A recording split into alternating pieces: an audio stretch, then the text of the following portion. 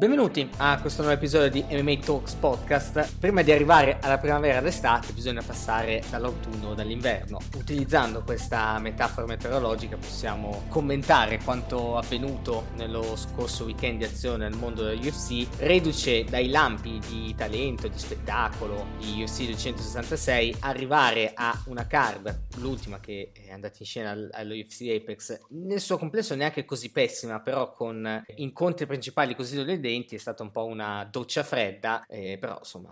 eh, questo sport e il mixed martial arts sono imprevedibili in tutti i sensi positivi e negativi. In ogni caso cercheremo di analizzare magari anche in breve quanto avvenuto nel main, nel co-main e nel resto dell'evento, l'ultimo evento della Ultimate Fighting Championship. Brevi considerazioni anche su un panorama di card anche piuttosto ricco al di fuori della UFC. C'è stato un evento Bellator 267 con il rematch, anche questo non troppo spettacolare tra Douglas Lima e Michael Delon Page e ci sono stati anche tanti incontri sia nel contesto della card Bellator che nella trilogia di eventi Cage Warriors eh, che si è dipanata da giovedì a sabato. Una lunga serie di incontri che hanno coinvolto nostri connazionali non tanti vincitori però insomma tanti fighter che si sono esibiti e andremo a fare un po' anche alcune considerazioni loro, sui loro risultati sulle loro performance nello scorso weekend weekend di azione nel mondo esteso, diciamo, delle mix martial arts. Prima di entrare nel vivo, come sempre, le presentazioni. Da questa parte del microfono mi saluta Stefano e dall'altra c'è Giovanni. Benvenuto Giovanni. Ciao Stefano, grazie. Salve a tutti. Perfetto, come detto, ultimo evento di transizione non numerato della UFC, come sempre andato in scena dalla UFC Apex di Las Vegas, che ha in parte deluso non tanto poi nel suo complesso, perché per esempio la preliminary card di questo evento è stata anche, come dire, piuttosto spettacolare, con tante finalizzazioni e eh, nel complesso divertente, però come giusto o ingiusto che sia, come capita spesso, la qualità degli eventi nel loro complesso dipende molto dall'esito e da, da quanto spettacolo, da quanto divertimento, da quale indicazione a livello tecnico di matchmaking possono dare i match principali. E al netto di un match di apertura senza storia che è stato quello tra Alex Hernandez e Mike Briden con la vittoria del primo per KO dopo un minuto e 20 secondi e al netto del match tra Nico Price e Alex Oliveira contesa molto equilibrata di cui andremo a parlare a breve il main event e il come event che vedevano rispettivamente Thiago Santos e Johnny Walker a light heavyweight sfidarsi per una sorta di ripartenza in positivo nel loro percorso di carriera in questa categoria di peso e in tono magari minore a livello di equilibri di categoria di peso ma come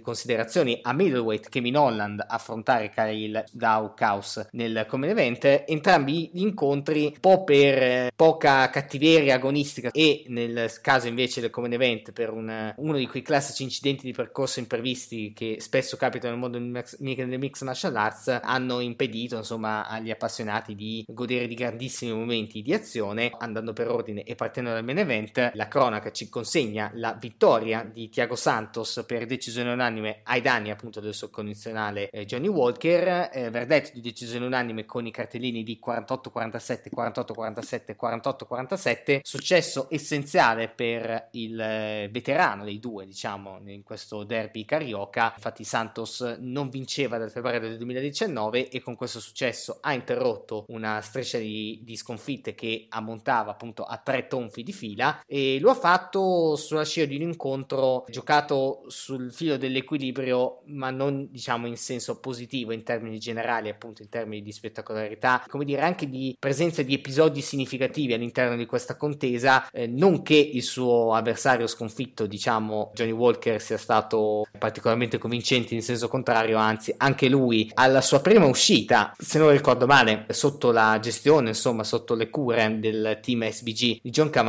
eh, si è dimostrato sì tendenzialmente un fighter meno estemporaneo, meno selvaggio nella conduzione, nella gestione dell'incontro in tutti i suoi aspetti, sia in termini di volume di colpi comunque di offensiva portata a segno, in termini di, come dire, ring awareness, per dire in inglese, insomma, di gestione degli spazi, gestione dei movimenti all'interno della gabbia in relazione allo spazio a disposizione e in relazione anche, ovviamente, ai movimenti del suo avversario. Questo però a neutralizzarne magari alcuni eccessi, però ne ha neutralizzato a quanto pare qualsiasi tipo di aggressività, portandolo a condurre un match veramente a basso volume di iniziativa portata a segno, imitato tra l'altro, insomma, in questo senso anche da Santos, che ha vinto, ha vinto di poco e ha vinto veramente per poco anche a livello statistico di colpi portati a segno. È stato veramente un incontro molto difficile da valutare e in generale, insomma, mettendo da parte i compiti di judging che comunque agli appassionati non sono eh, richiesti in termini pur di godimento, è stato effettivamente un match magari meno noioso visto dopo, dopo aver detto tutti questi commenti rispetto a chi magari l'ha dovuto vedere dal vivo magari a tarda notte e ha rischiato di addormentarsi insomma nel pieno della notte nel cercare di vedere questo main event dal vivo ma anche vedendolo dopo diciamo col beneficio di qualche caffè o di una giornata diciamo di un orario feriale effettivamente non è stato un match assolutamente indimenticabile tutt'altro quello che hanno disputato i due brasiliani. Giovanni appunto nel commentare questo match viene un po' difficile fare grandi considerazioni a livello tecnico perché effettivamente si è visto relativamente poco. Io ho l'impressione e magari è su questo che possiamo parlare che entrambi hanno fatto bene o male lo stesso tipo di match magari forse Santos in maniera più strategica rispetto a Walker. Santos ha dato effettivamente l'impressione di essere un fighter davvero vuoi anche non necessariamente per, per colpa sua diciamo più per eh, problemi fisici i noti postumi dell'infortunio alle, al ginocchio subito dopo la forse quella che è stata la sua migliore performance in carriera nel suo complesso quella contro John Jones è apparso veramente un fighter eh, relativamente agli ultimi sgoccioli sicuramente come possibile contender o comunque come fighter d'elite in questa categoria di peso e molto probabilmente anche come gatekeeper sembra veramente un fighter che tenendo conto anche che all'ultimo match di contratto questo era il suo ultimo match di contratto con la UFC pare in prospettiva un fighter che ha un certo livello di competizione e in particolare con lo UFC per quanto light heavyweight non sia una categoria strapiena di talento strapiena di contendenti rispetto a tante altre però pare veramente ormai agli ultimi sgoccioli o forse arrivato al capolinea. Dall'altra parte invece Walker che ha il beneficio dell'età e di relativi meno infortuni o comunque meno debilitanti nel suo passato è apparso invece nel condurre lo stesso tipo di match troppo esitante cioè l'impressione proprio che la cura SBG lo abbia come ho detto insomma eccessivamente neutralizzato e in parte anche un po' sviato ha colpito il fatto che in prossimità dell'ultima ripresa Kavanagh eh, invece magari di suggerirgli di eh, essere un pochino più aggressivo di cercare non so tutto per tutto di scoprirsi un po' di essere di, di diciamo togliere ogni dubbio sulle sue possibilità di vittoria ha detto a Walker che stava conducendo abbastanza tranquillamente il match che doveva proseguire su questi binari e insomma mi è sembrata una chiave di lettura del match piuttosto bizzarra che ha aggiunto altri dubbi che da tempo esistono sulla qualità del, del coaching da parte di Kavanagh al di fuori diciamo di quello che possono essere le indicazioni date al Conor McGregor del suo prime ma al netto insomma del capitolo Kavanagh nello specifico proprio su Walker è apparso che questa cura insomma lo ha neutralizzato un po' troppo. Forse sì lo ha, eh, gli, ha fat- gli ha evitato magari certe situazioni pericolose nelle quali è incappato che gli hanno procurato delle nette sconfitte in passato ma al tempo stesso ne ha neutralizzato oltre che insomma, la spettacolarità anche la propria pericolosità all'interno dell'ottagono. È una chiave di lettura per entrambi i fighter secondo te che ci può stare? L'hai vista diversamente? Co- cosa sei riuscito a trarre di interessante diciamo da questo main event? Ma guarda sì la tua analisi può essere sicuramente condivisibile. Io fino a quel momento certo non è il migliore dei consigli da parte di un coach quello di gestire senza aggredire conscio sicuro della sua superiorità fino a quel momento. Anche per me la percezione era quella che Walker stesse gestendo meglio l'incontro secondo me. Io probabilmente avrei dato tre round a due a lui. Però i giudici non sono stati d'accordo e comunque mi lascia un tantino perplesso il fatto appunto di Kavanagh che dica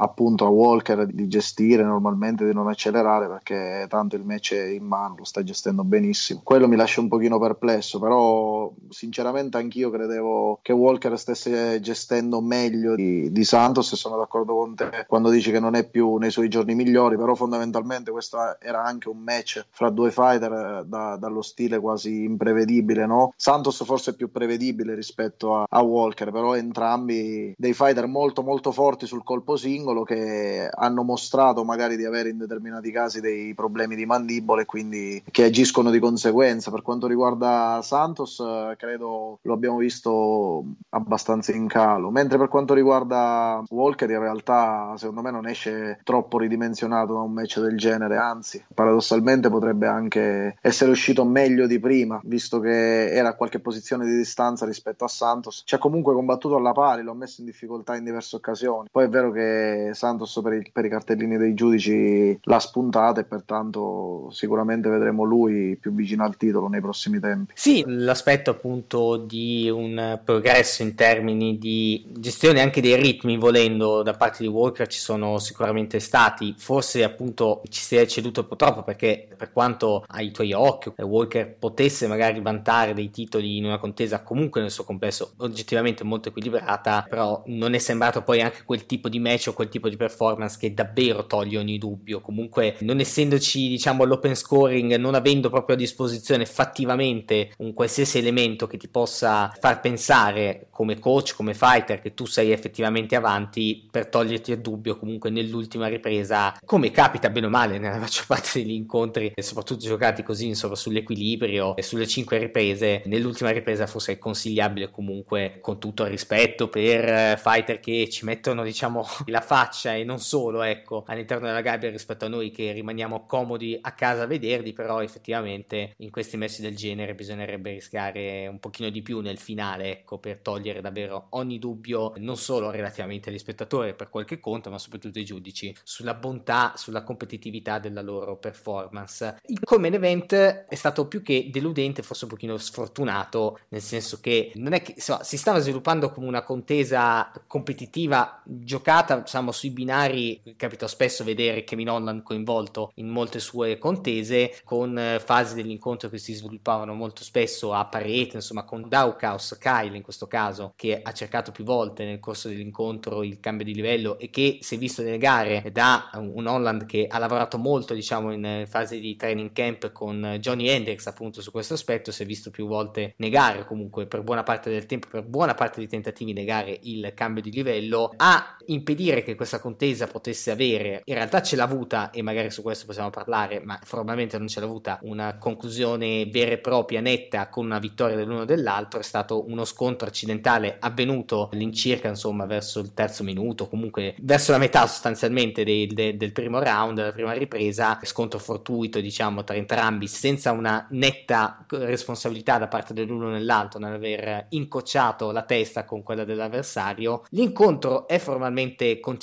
anche se Delmi Radiotta, l'arbitro che era presente nella gabbia, comunque ha segnalato ai, agli assistenti, comunque ai membri della commissione atletica fuori dalla gabbia di voler rivedere l'episodio dell'Insta Replay. Il match è continuato e Daukaus ha ottenuto, sta ottenendo una vittoria, se non ricordo male, per Rienek Chok, proprio sempre in prossimità della gabbia, insomma una presa sottomissione ben applicata, comunque con tempismo, con killer instinct ammirabile contro un Kevin Holland che insomma alla luce del, dello scontro di teste ha provato andando avanti distinto più che di ragionamento comunque logicamente ecco con presenza fisica e, e mentale completa all'interno dell'incontro ha provato a resistere ma bene o male effettivamente sembrava comunque visibilmente scosso e penalizzato ecco da quell'episodio che è successo. E andando appunto al tema principale di questa contesa dopo che si è conclusa con la vittoria formalmente quella che sembrava essere una vittoria per trasmissione per Taukaus un conciliabolo che si è creato insomma tra il responsabile degli abiti in quel momento Dean, Demi Ragliotta membri della commissione atletica e cosa piuttosto bizzarra diciamo a livello di regolamento visto che questa è una vicenda che riguarda di giurisdizione piena solo della commissione atletica del Nevada e, non, e la UFC formalmente come promoter non dovrebbe centrare alcunché però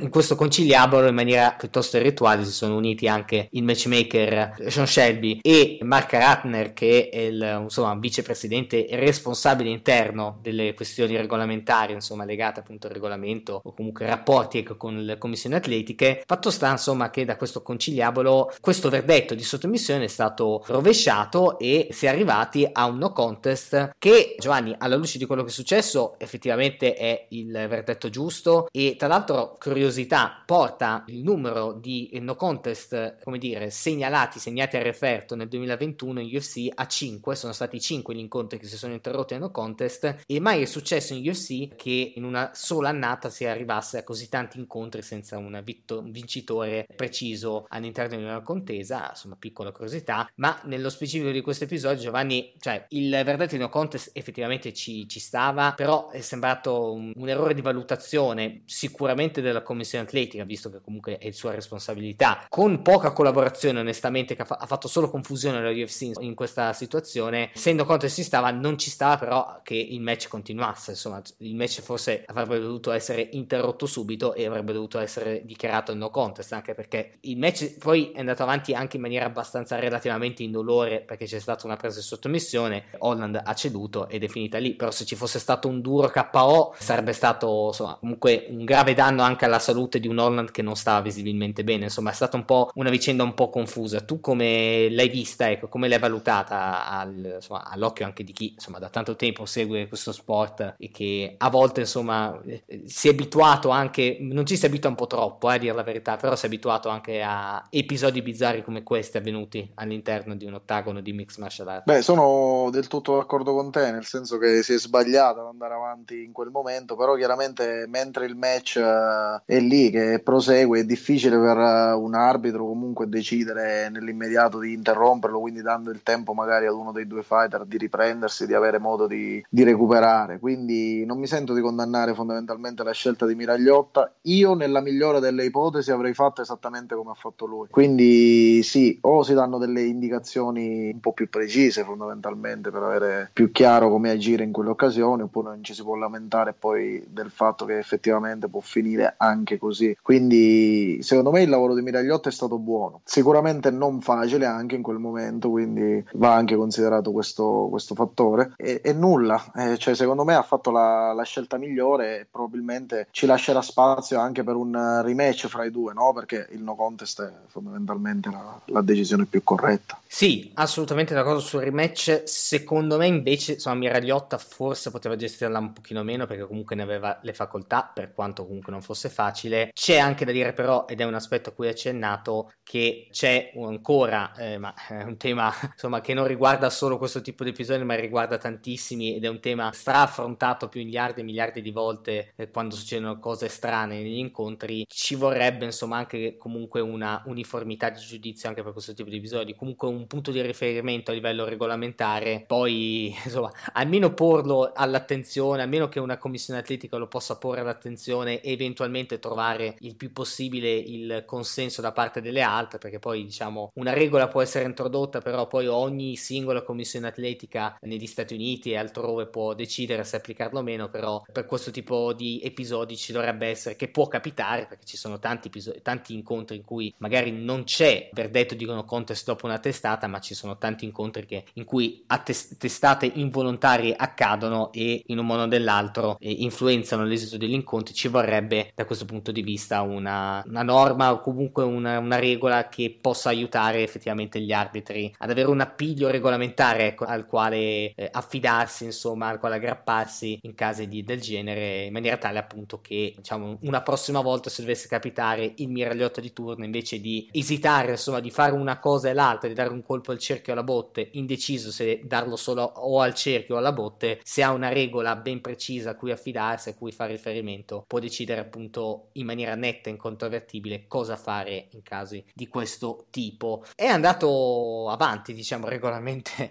come incontro, arrivando, richiedendo il complesso di 15 minuti all'interno dell'ottagono. Il match molto interessante tra welterweight andato in scena tra eh, Nico Price e Alex Oliveira. Vittoria del primo per decisione unanime 29-28, 29-28, 29-28. Ci si aspettava un match, eh, diciamo, si prospettava un match da fuochi d'artificio. Magari non ci sono stati, ma in ogni caso si è visto comunque un match assolutamente godibile e in parte anche sorprendente, insomma, per gestione, diciamo, strategica della contesa da parte dell'uno e dell'altro. Entrambi i fighter, diciamo, Price nel primo e eh, Oliveira nel secondo, hanno messo in mostra abilità anche non solo nella battaglia in piedi, dove bene o male si è giocato tutto abbastanza sul filo dell'equilibrio nelle prime due riprese, ma si sono distinti anche per la loro capacità di ottenere cambi di livello, appunto l'americano nel primo, il brasiliano invece nel secondo. Nel terzo invece si è assistito a quel tipo di incontro, insomma, a quel, quella battaglia insomma in piedi, magari senza grandissimi episodi, ma comunque con scambi piuttosto equilibrati e decisi di colpi in piedi, insomma nelle, nelle, fasi di scambi in piedi e a essere premiato al termine di un match in cui effettivamente ci poteva essere un verdetto positivo per l'uno e per l'altro, insomma sempre un match piuttosto equilibrato, però nel complesso comunque ci può stare la vittoria che è stata effettivamente segnata a Price che ha ottenuto una vittoria piuttosto rara per decisione per quelli che sono i suoi standard, visto che per l'appunto non vinceva per questa modalità dall'agosto del 2016, quindi nel complesso da 14 incontri che non vinceva in questa maniera e lo ha fatto contro un Alex Oliveira, Giovanni insomma che è stato rispetto alle ultime uscite in cui appariva onestamente insomma senza mancare di rispetto quasi un ex fighter insomma per approccio mentale, per efficacia del proprio modo di combattere all'interno degli incontri, insomma appariva veramente un fighter svuotato di qualsiasi tipo di entusiasmo e di competitività all'interno dell'ottagono UFC. In questo match contro Price invece è apparso, se non necessariamente quello del suo ideale prime, però come un fighter decisamente più presente, vivo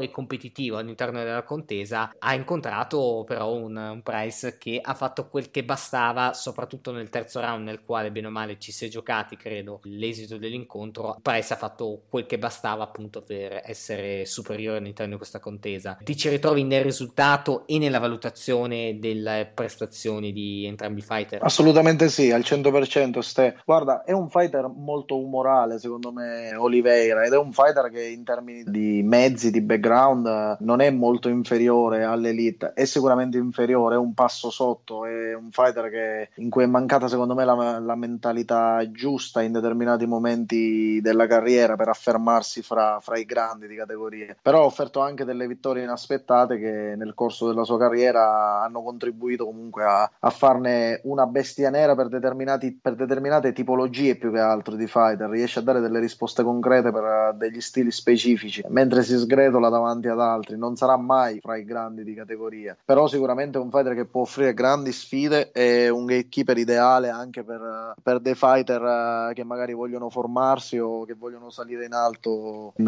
UFC. Ecco, io la sua versione migliore la ricordo contro Carlo Pedersoli. Ora vogliamo anche il fatto che Carlo non avesse avuto un training camp e che non fosse al meglio sicuramente, però quello Oliveira lì è stato veramente bestiale quella volta e, ed ha offerto secondo me delle ottime prove. Poi ripeto, la sua mentalità non è sempre al meglio e quindi finisce poi per essere fra, fra gli average diciamo di categoria. Eh sì, insomma, eh, stavolta è tornato a essere un pochino più competitivo, comunque si è avvicinato un pochino a quello che può essere il suo ideale, la sua ideale forma, meno male, ecco, però insomma non è stato appunto sufficiente per battere un uh, maturo e solido Price eh, che ha dimostrato di non essere solo KO estemporanea e basta, ha dimostrato anche una maggiore completezza nel suo game plan e che ha portato a casa, anche se di misura, comunque un match eh, assolutamente meritato, insomma con la vittoria assolutamente meritata da parte sua. Altro match equilibrato, detto appunto del, dell'incontro d'apertura di Hernandez, come detto, senza storia contro Briden, altro match equilibrato, ma nel senso diciamo relativamente negativo del termine, insomma, match eh, giocato più sul neutralizzare l'avversario che non necessariamente su batterlo, è stato quello ormai un marchio di fabbrica per Christoph Jotko che ci ha abituato a questi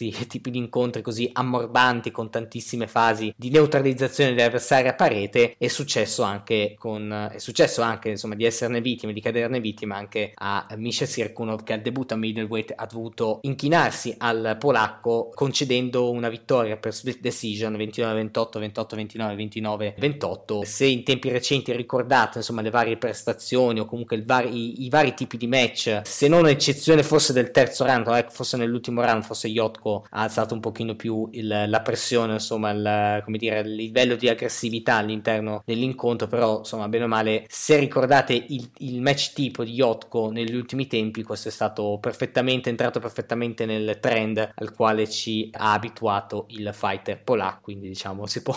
tranquillamente circolare e passare insomma brevemente a commentare in realtà eh, una molto più vivace, ricca anche di prestazioni magari un pochino più intriganti eh,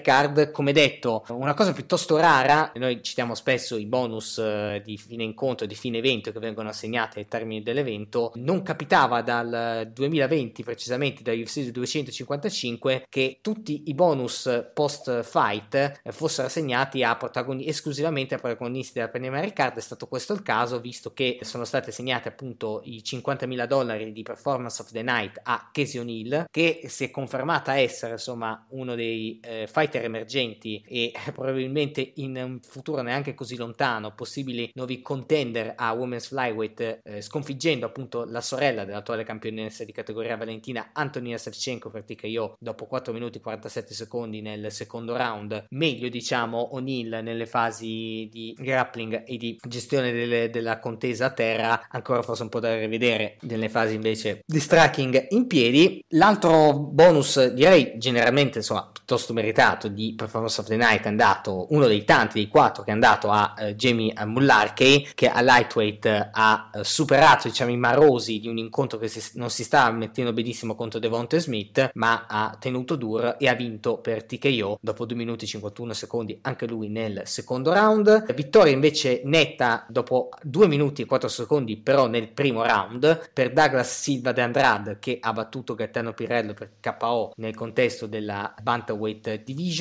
così come Alejandro Perez sempre a Bantamweight ha tirato fuori una presa di sottomissione piuttosto rara a livello UFC o comunque in generale nel mondo del mixed martial arts una scarf hold armlock con la quale ha battuto il ormai quarantenne Johnny Eduardo che non combatteva da tantissimo tempo e che è stato sconfitto dopo questa presa di sottomissione dopo 4 minuti e 13 secondi nel secondo round. Eh, a chiudere il quadro dei risultati la vittoria a Women's Bantamweight di Stephanie Egger contro eh, ai danni di Shana Young TKO dopo 2 minuti e 22 secondi nel secondo round. Vittoria per Caro La Rosa nel catchweight a 138 libbre e mezzo ai danni di Bech Corea dopo per decisione unanime 30-27, 30-27, 30-26 sconfitta con la quale appunto la Corea ha deciso di ritirarsi dal mondo delle mix martial arts. La contesa della preliminary card diciamo più eh, equilibrata e generalmente più divertente è stata quella tra Jared Corton e Joe Solecki con la vittoria del primo per split 28-29, 29-28, 29-28 così appunto completiamo insomma il quadro della situazione di questo ultimo ultimo evento UFC che eh, diciamo poi rivedendo nel suo complesso non è stato poi così pessimo come magari alcuni commenti nell'immediato facciano intendere però molto probabilmente col passare del tempo verrà dimenticato molto facilmente come peraltro tanti altri eventi non, diciamo non numerati proposti dalla Ultimate Fighting Championship in tempi recenti. Prima di passare a presentare brevemente la prossima card sempre non numerata dall'Ultimate Fighting Championship alcune considerazioni anche su Bellator 260 67, andati in scena il primo ottobre da Londra, insomma primo evento della, di Bellator al di fuori degli Stati Uniti, diciamo dalla sua ripartenza post diciamo, picco dell'emergenza coronavirus nel, nel, mondo, evento che presentava nel main event la rivincita tra Michael Venom Page e Douglas Lima, rivincita in tutti i sensi visto che appunto il britannico si è vindicato della sconfitta inflittagli dal brasiliano eh, un po' di tempo fa, vincendo per split decision decision, decision con i cartellini di 28-29, 29-28, 29-28. Anche qui Giovanni, insomma, match diciamo a basso volume, senza troppa iniziativa, nella quale bene o male forse diciamo Venom, Michael Venom Page ha fatto il suo tipo di incontro, ecco, consapevole magari insomma che di fronte non si trovava un avversario qualitativamente o comunque con meno colpi sorprendenti a propria disposizione come gli capita spesso, insomma, come gli è capitato spesso nel corso della sua carriera di affrontare affrontare appunto fighter non dico nettamente inferiori però tendenzialmente inferiori comunque meno creativi rispetto a lui qui si trovava di fronte nuovamente un fighter al contrario forse più completo nel suo complesso ma che onestamente Giovanni questo Douglas Lima da un po' di tempo a questa parte sembra essere un po' l'ombra di se stesso probabilmente ha perso forse qualche motivazione dopo aver mancato insomma dopo la sconfitta contro Gegard Musasi insomma è sembrato un fighter che in questa occasione anche nel, nelle ultime sue contese insomma nelle sue ultime uscite sembrato un fighter eh, appunto quasi demotivato, comunque eh, davvero poco produttivo, ha, ha, superato un po' il limite tra quello che può essere insomma una certa cautela no, strategica e quella che invece è proprio la vera e propria inattività, quasi la, la mancanza di voglia nel vincere gli incontri. Qui tenendo conto anche del precedente che c'è stato tra i due, si sono visti quasi due Douglas Lima diversi. Se quello del primo match, anche se non uno scatenato fighter all'impazzata, però un fighter sia accorto ma con un killer instinct tale appunto, se ti ricordi come era finito il primo match, insomma quel calf kick seguito subito dal pugno, da quel montante spettacolare, insomma veramente una finalizzazione da campione. Ci ha riprovato effettivamente nel terzo round, però in generale insomma è sembrato veramente un fighter diverso da quello che poteva essere nel primo match e non lo so, mi, mi è sembrato più Douglas Lima ad aver perso questo match che non necessariamente MVP ad averlo vinto, non so se sono un po' troppo severo o sbrigativo in questa analisi o se più o meno ti ci ritrovi. No, guarda, sono assolutamente d'accordo con te. Eh, Lima da un periodo a questa parte che può essere sì effettivamente ricondotto a, a quando dici tu, ovvero dopo la sconfitta contro Musasi, che poteva essere poi la sua massima elevazione, diciamo, no, in termini sportivi. Eh, non credo che potesse andare più avanti di lì a meno che non fosse passato in UFC. Credo che sì, sia stato in,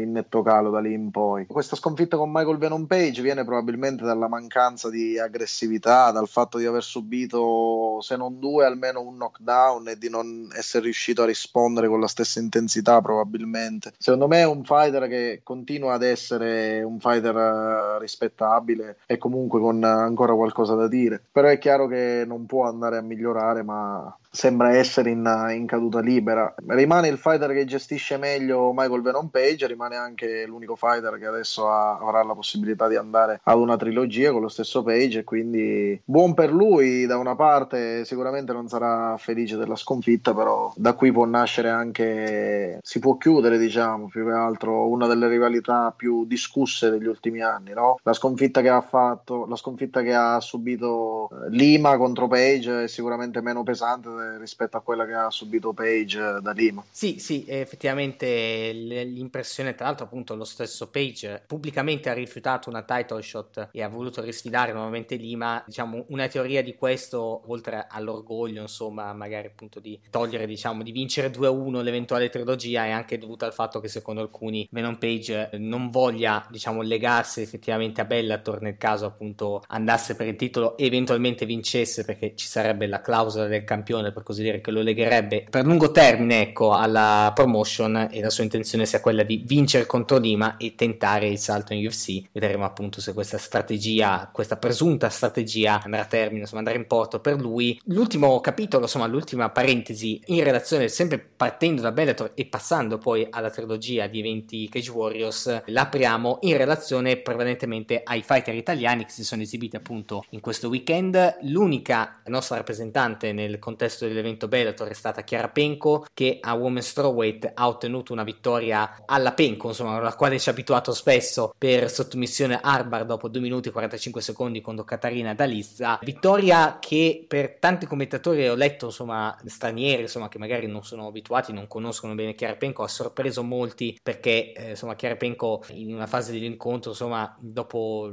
un lungo sprawling, diciamo, a parete, ha deciso no, di chiudersi in guardia andando a terra terra, eh, scelta che di solito viene molto stigmatizzata perché può esporti a delle situazioni molto pericolose alle quali poi tu ti regali ecco, all'avversario, però per chi conosce Chiarapenko sa che questa è una strategia che, che può applicare perché molto, insomma, si fida molto del suo ground game e insomma i fatti gli hanno dato ragione, infatti dopo eh, anche pochissimo tempo tenendo l'avversario all'interno della propria guardia ha ottenuto abbastanza agevolmente la presa sotto missione dell'Arbar e appunto ha approfittato anche di una certa inesperienza forza comunque della sua avversaria che ha combattuto anche relativamente poco rispetto alla Penco per ottenere una vittoria da prendere relativamente con le molle in termini di competitività ad alti a livelli maggiori però sicuramente brillante e completa. Da parte sua vittoria anche convincente con magari qualche asterisco, un piccolo asterisco, ma nel complesso comunque molto convincente per Dylan Asanna nel contesto di Cage Warriors 129 in apertura appunto dell'evento, vittoria per split decision contro Scott Malone, vittoria costruita prevalentemente sul wrestling, che è piatto forte diciamo della proposta all'interno del mix martial arts, una gabbia di mix martial arts appunto da parte del allievo dell'Aurora MMA Team di Borgomeo e Carfagna, match appunto senza storia per quanto riguarda campi di livello e stabilizzazione delle fasi a terra, volendo per togliere qualche dubbio evidenziato anche dal verdetto di split decision, forse Asan avrebbe potuto in alcune fasi magari perlomeno provare a ottenere una finalizzazione definitiva, lo ha fatto in parte proprio nel termine dell'incontro appunto nell'ultima ripresa, ma in generale forse si è accontentato relativamente troppo di ottenere il cambio di livello e di rimanere insomma stabilmente in top position rispetto al suo avversario, però sicuramente insomma magari si sta anche un po' nascondendo per certi aspetti, ecco insomma ha voluto ottenere una vittoria, continuare a ottenere vittorie all'interno di Cage Warriors, insomma secondo match in Cage Warriors, seconda vittoria consecutiva, magari appunto mano a mano che magari troverà anche maggiore confidenza nei propri mezzi, oltre a quello a wrestling che pare essere assolutamente adeguato per questo livello di competizione europea, magari vedremo appunto delle finalizzazioni che comunque nel contesto italiano dell'MMA italiana ha fatto vedere di essere in grado insomma di poterle applicare. Purtroppo sfortunato si poteva avviare a quella che poteva essere una vittoria, insomma eh, purtroppo non lo sapremo mai. Eh, Michele Martignoni la sera prima a Cage Warriors 128 nel match contro Adam Amarasinghe, match che si è interrotto per un hypoc subito dal nostro rappresentante appunto che si stava avviando perlomeno un match molto equilibrato e eh, tendenzialmente che forse stava vincendo negli scambi in piedi appunto contro il fighter avversario di origine britannica. Poi però purtroppo è arrivata questa ditata all'occhio sinistro che ha impedito insomma a Martignoni di poter proseguire l'incontro. Quindi vedremo appunto se magari ci sarà un rematch. Sicuramente ci sarà un'altra occasione perché per l'appunto nel contesto di Cage Warriors visto che Martignoni si stava ben comportando in questo incontro quindi sicuramente avrà, avrà modo in futuro di riprovare insomma a essere a giocarsi altre chance all'interno della promotion britannica dalla quale sono usciti purtroppo sconfitti nel contesto tornando a Cage Warriors 129 gli altri italiani che si sono eh, esibiti eh, all'interno appunto della gabbia della promotion britannica. Alessandro Botti sconfitto per sottomissione guillotine choke dopo 2 minuti e 29 secondi nel secondo round per mano di Jamie Richardson. Un Botti che stava facendo anche molto bene nell'ambito del wrestling nel cambio di, cambi di livello nella capacità insomma di ottenere una posizione dominante e eventualmente poi sweepare l'avversario nel momento in cui Richardson ha provato insomma a cambiare posizione a ottenere appunto lui la eh, top position all'interno dell'incontro. Eh, purtroppo però per Botti è stata fatale un tentativo di double leg del quale Richardson ha approfittato applicando subito questa guillotine choke dalla quale Botti non è riuscito a uscire tant'è che appunto appena ha chiuso la presa di sottomissione Botti ha subito ceduto quindi effettivamente una presa un'intuizione da manuale da parte di Richardson che gli è valsa appunto la vittoria. Non ha avuto titoli purtroppo per rivendicare qualcosa di positivo all'interno della sua match invece Cogliandro purtroppo sconfitto direi abbastanza nettamente per sottomissione da Steve Aimable. Per flying guillotine choke dopo 4 minuti e 27 secondi nel primo round Aimable ha avuto generalmente insomma facilità nel portarlo a terra nel controllarlo nel lavorare di grande pound tant'è che appunto Cogliandro è stato ferito alla, alla fronte se non ricordo male comunque ha perso stava perdendo sangue nel corso della contesa e poi in una fase appunto in cui Cogliandro stava per rialzare insomma eh, ha applicato al volo per così dire questa guillotine shock che è risultata fatale per le sue sorti. Quindi insomma nel complesso arriviamo a due vittorie un uh, no contest e due sconfitte per uh, il weekend degli nostri fighter italiani delle MMA italiane nei contesti di Bellator e Cage Warriors. Ultimissima nota in chiusura prossima card UFC facciamo giusto un'anticipazione barra pronostico sul main event. Uh, Women's Strawweight Mackenzie Dern che affronta Marina Rodriguez. Giovanni altro test direi abbastanza provante per le ambizioni di eh, futura title shot comunque di, di, contendership di Mackenzie Dern. Credi che abbia i titoli per uscire indenne dallo scontro con Marina Rodriguez oppure dobbiamo aspettarci quello che per alcuni potrebbe essere un upset no secondo me può superare la Dern Rodriguez bisogna vedere dopo eh, cosa succederà dopo? No, secondo me queste sono tutte avversarie alla portata di, Mac- di Mackenzie Dern. Le avversarie dico del livello di Marina Rodriguez, ovvero quelle immediatamente sotto alla top 5 e magari ai limiti esterni della top 10. Fino a lì la Dern non dovrebbe avere particolari problemi. Ha costruito la sua carriera benissimo, sa stare all'interno della gabbia, riesce a gestirsi nella migliore delle maniere, quindi secondo me le avversarie di questo livello non le impensieriscono più di tanto. La vera domanda è se Dern riuscirà ad arrivare al titolo, quella è una delle curiosità che più mi spingono a pensare. Sì, sì, sì, diciamo che la, la sfida superata forse la sfida della disciplina, perché insomma, bene o male a inizio carriera e a inizio della sua esperienza UFC, insomma, c'erano molti dubbi sulla sua disciplina in termini appunto di rispetto dei limiti di peso, è stata un po' criticata per la sua etica del lavoro. Questi dubbi sono stati tolti, ecco, nel corso della sua carriera, ha dimostrato di voler seriamente provare a, a costruirsi una carriera vincente nel contesto delle mixed martial arts, dopo i grandi successi ottenuti nel mondo del BJJ. Ha sicuramente insomma un limite rispetto al, al, alle fighter top di questa categoria, eh, che probabilmente non sarà colmato di competitività nelle fasi in piedi, però bene o male quando è riuscita a portare le contese a terra per la maggior parte delle sue avversarie non c'è mai stato scampo, è stata nettamente la più forte e vedremo appunto se Marina Rodriguez sarà un'altra vittima diciamo del suo percorso in tal senso con un'altra vittoria per la dentro sottomissione oppure se saprà magari tenere la contesa lontana da quell'ambito, mettere in difficoltà la Derna in piedi e eventualmente se non arrivare a una finalizzazione arrivare però a una vittoria convincente per decisione. Sicuramente un match che da questo punto di vista può essere interessante da seguire. Direi a questo punto che possiamo chiudere con questa puntata flash e ricordare però insomma prima di salutare i nostri contatti, i nostri appuntamenti, contatti, pagina Facebook, eh, profili Instagram e Twitter e il gruppo Telegram linkato nelle note dell'episodio e eh, come prossimo appuntamento, salvo imprevisti o cambi di programma, la nostra diretta Twitch con gli amici di Fighting Marziali giovedì sera e ovviamente insomma in generale insomma news eh, del mondo del mix martial arts, insomma considerazioni su eventi passati e futuri e magari ecco possiamo lanciare da questa puntata anche la, la proposta del, insomma, di Lorenzo di, eh, della rubrica degli hot take. Insomma magari appunto se siete interessati comunque se avete opinioni che volete condividere entrate nel nostro gruppo Telegram eh, lanciate le vostre opinioni e nel corso della puntata insomma eh, avremo modo di commentare le, le nostre opinioni sulle vostre opinioni insomma cercare un po' di stimolare il dibattito sullo sport che tanto ci piace e seguiamo. Direi a questo punto che possiamo salutare. Da questa parte del microfono vi saluta Stefano ciao a tutti. E da quest'altra Giovanni alla prossima. E al prossimo episodio con MMA Talks Podcast